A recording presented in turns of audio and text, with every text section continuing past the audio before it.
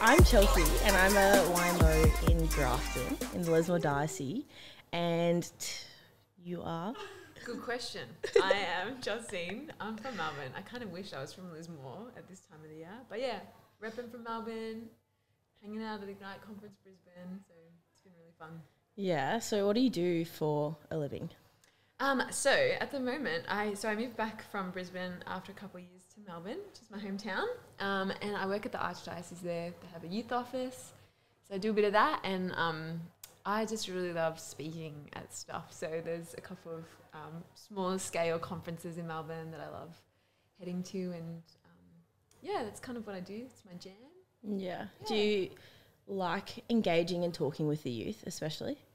Yeah, I kind of like engaging and talking with everyone. Yeah. I think that um, it's just, I don't know, it's a really beautiful thing to stay connected um, by going to these conferences and all different kinds, like with Jesus Youth and big like Indian communities one day, and then going into schools the next day and just sharing, realizing that the message that we have to share as Christians just speaks to the heart no matter where you are. So, Yeah. um, I just love meeting people so much. I don't know if it's just because I'm an extrovert or a European or both, but I'm just like, I love people.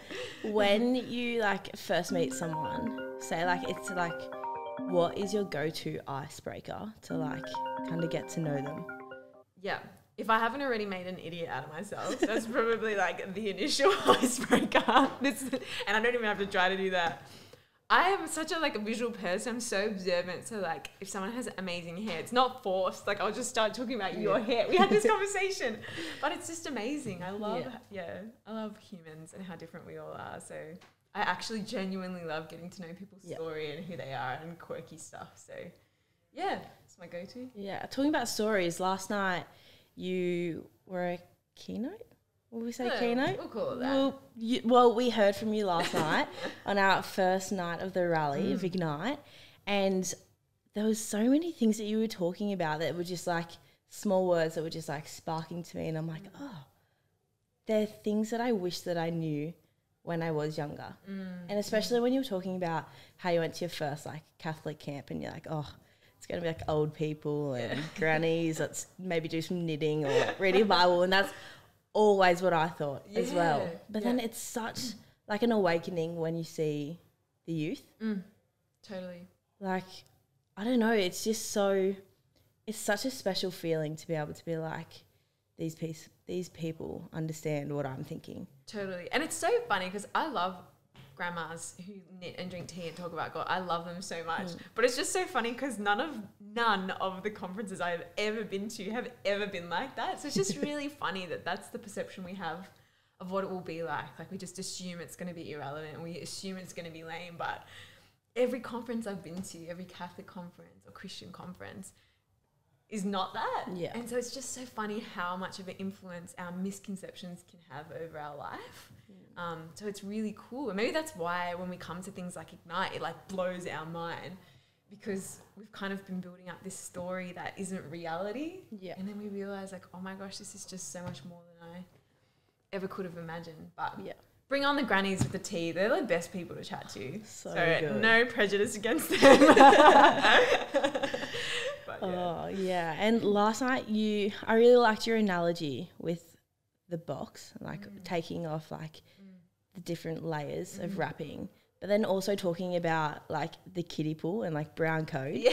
And it's like it's so like relevant to your life. It's like you may not think it, but there's like things going on and you just need to take like leave it, take that next step. And I feel like here at Ignite this year, there's gonna be so many people that took something from that mm, in their own different way. And like a kid that I was talking to last night, he's like I'm in like I did ministry, like the ministry class, but like hearing that it's making me want to just take every opportunity that I'm getting at Ignite mm. and see what new comes. Totally. It's just crazy when you actually think about it because, like, I don't spend a lot of time thinking about that. And mm. it's funny because whenever I give a talk, I actually feel like I'm the first person I'm talking to. Like, mm. it's a bit, oh, it's not selfish, but I feel like God really slams me first. And so that's why I can only ever be real and I mm-hmm. can only ever share dumb, real things that happen to me because I feel like God's speaking to me. But yeah, in writing this talk, I'm like, man, like I don't stop and look enough in my everyday, every single moment. Like God is there every single moment, but I probably check in once every three days, you mm-hmm. know, or I check in every couple of hours, and I'm like, oh, you know, but he's actually here right now, and he was in the you know rally last night, but he was also with me last week when I was freaking out about the talk, you know, like he's just so with us all the time, but it's crazy to think that we just have to make be aware of it Yeah. and as soon as we're locked in, it's like, oh my gosh, like I can see him everywhere. I love what Father was saying this morning about um, giving thanks to God Yeah. um, and how that just makes us so aware. When you start thanking God for the little things that you have, you start to realize, like, oh my gosh, He was there and He was there. And yeah, I got to do that more. It's like in class with like a group of my kids, like we've started like in our prayer, we were like, okay, we all need to say one thing we're grateful for. Yeah. And they're all like slowly coming up with different things. Used to be like family, friends, just like the when like you say just that. the basic things. You know, but then it like got to the stage where it's like to be able to breathe or for the opportunity of like this class or just like particular people that do impact their life and Yeah. i think it's so important that we do need to just thank god for every single thing that we do Totally.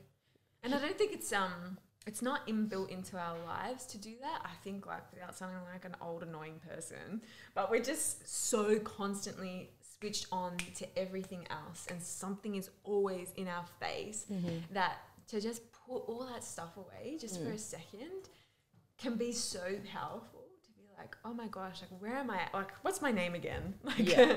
and when no one's watching, you know, what am I actually feeling right now? And and allowing God into that process, like it's just so important for us now to just push pause on everything every now and then.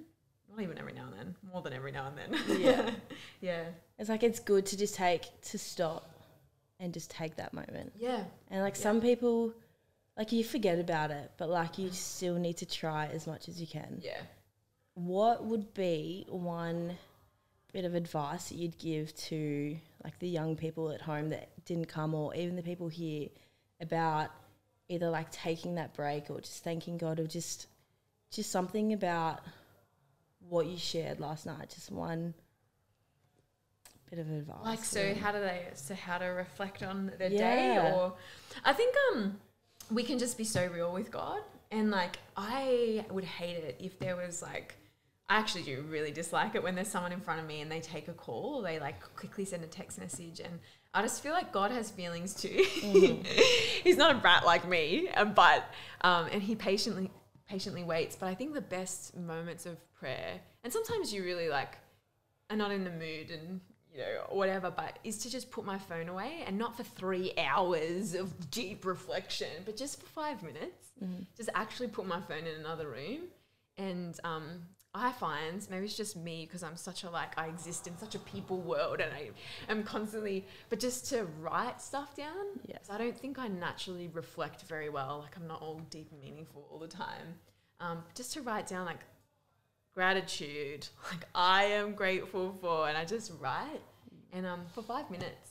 Um but sometimes it's more and more than just gratitude like i, I want to be grateful but there might be real stuff going on in my life as well and i want to talk that out um, and yeah might sound lame but doesn't feel lame when i do it but just writing that out on a piece of paper or if you want get a cool weather bound journal or um, yeah, God just wants to chat. Like God wants to chat like this. Like I feel so easy being next to you and just so chill and um, yeah, he just wants your everyday chats. Just Yeah. wants to be in amongst it with you. and it's not like he's forcing himself in like No. what father dan was talking about this morning like Yep. he's not barging through the door he's just patiently waiting Mm. for us to take that moment to stop Yeah. and to ha- like engage that conversation. Totally. And it's like that misconception again. We just assume God's going to be angry at us. We think God's this like guy, who, like Zeus watching us, like for our every mistake. But it's so unfair on God because like not once does he say that to us. Like Yeah. not once has my, like I've had some pretty like big wake up calls, but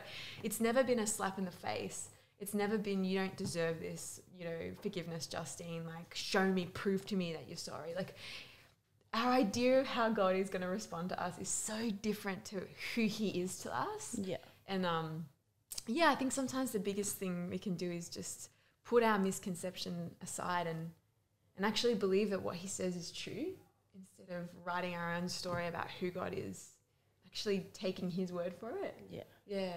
Definitely.